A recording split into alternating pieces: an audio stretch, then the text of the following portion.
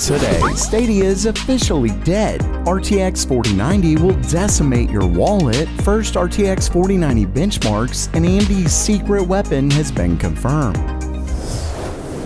Welcome everyone to Gamer Meld. First I'm up for shocked. today, it happened. Google has officially killed yet another product, adding to the long list of projects the company has ended over the years. This time, it's Stadia, the game streaming service that probably had more initial hype behind it than any that I've seen in recent memory. Of course, this isn't too much of a surprise after Google closed their Stadia game studio just last year. Then again, Google was promising they'd stick to it, even stating that more games were coming to the platform, which really just makes this a good reminder to not believe everything companies say. One thing to think about are the many recent cloud-based handheld devices, like the recently announced Logitech G Cloud Gaming that was promising support for Stadia. I wonder if Google didn't tell them until they told everyone else. Very ouch. With this, you may be wondering what's going to happen to the games you bought. Unfortunately, Stadia is set to go offline on January 18, 2023, which means no more access to your games. Luckily, Google is offering refunds to those who purchase software or hardware through the Play Store, but this is a hard reminder of the downside of streaming content. You don't technically own that media, so it can be taken away at any time. Either way, it's yet another game streaming service to bite the dust, proving yet again that it's not an easy task, especially when a multi billion dollar tech company can't get it right. One thing that won't go away anytime soon is computer science. Actually, it's getting a lot bigger, so learn the field the right way with this video's sponsor.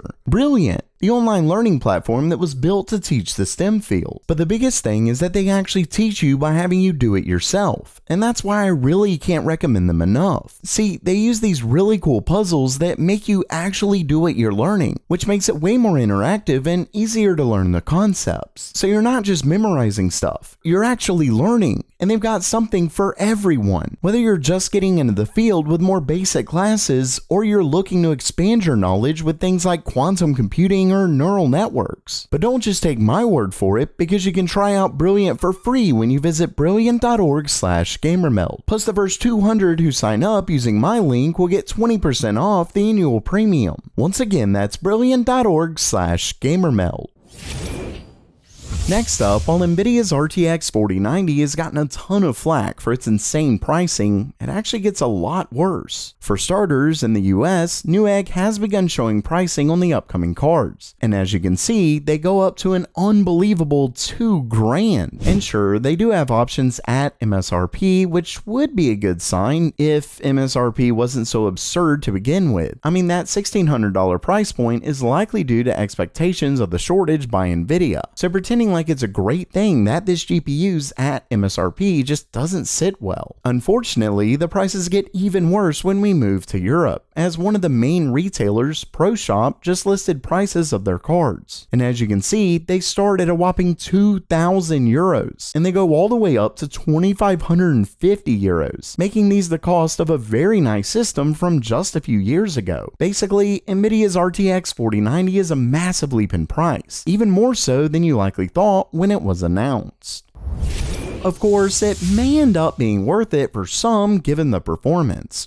Probably not. And luckily, we have our first look at that thanks to a new video from Digital Foundry, who got an exclusive look at the RTX 4090. Unfortunately, it's only a look at performance with DLSS 3.0, which really makes me think the native rasterized performance of the 4090 isn't nearly as good as Nvidia originally claimed. For rasterized games, Ada is up to two times faster. I mean, DLSS 3.0 is exclusive to the RTX 4000 series, but it's still just upscaling from a lower resolution, and it has to be coded into the game, so not all games will support it, which means the real performance without upscaling is important. Still, it's interesting to finally see some third-party benchmarks. Among the games they got to test were Cyberpunk 2077, Spider-Man Remastered, and Portal RTX, and as you can see, the performance boost is definitely surprisingly good. While they weren't able to show frame rates, they could show the percentage increase, so games get anywhere from 2 to even 5 times the performance boost when compared to native resolution. Of course, that 5 times boost is specifically in Portal RTX, which was definitely done with a ton of input by Nvidia. Really, all of these likely were, given they're some of the first to get DLSS 3.0, so I'd personally wait for reviews. One thing a lot of people have been concerned about is latency, and the reason for that is because DLSS 3.0 is having to generate the entire frame, so masking can't happen, and using optical flow analysis for the rest can add latency. But Nvidia claims that their tech called Reflex can solve this, and according to Digital Foundry, it is higher than DLSS 2.0, but it's still lower than native resolution. At the end of the day, Nvidia's 4090 with DLSS 3.0 does look interesting, but with prices up to 2 grand, it better be amazing.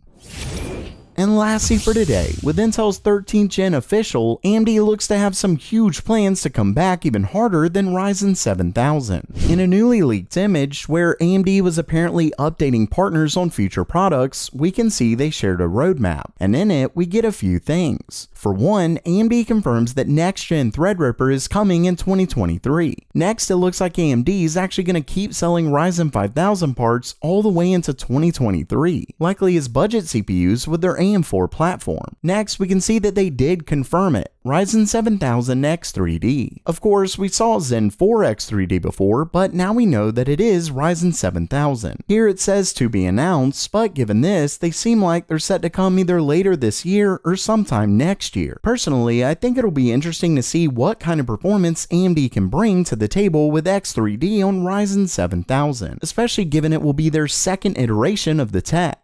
Maybe we can overclock some things? I'm not sure, but it will likely be AMD's answer to Intel's 6GHz 13th gen part. Finally, we can see that AMD plans to release a new series of desktop APUs in 2023, and they're apparently going to keep selling their 4000 and 5000 parts along with it. It'll be really interesting to see these with RDNA 3, if that ends up happening. So while that does it for today, are you pumped for AMD's next gen X3D or are you excited for Nvidia's RTX 4000? Let me know down in the comments below. And don't forget to check out Brilliant at brilliant.org slash gamermeld. And as always, have a great day.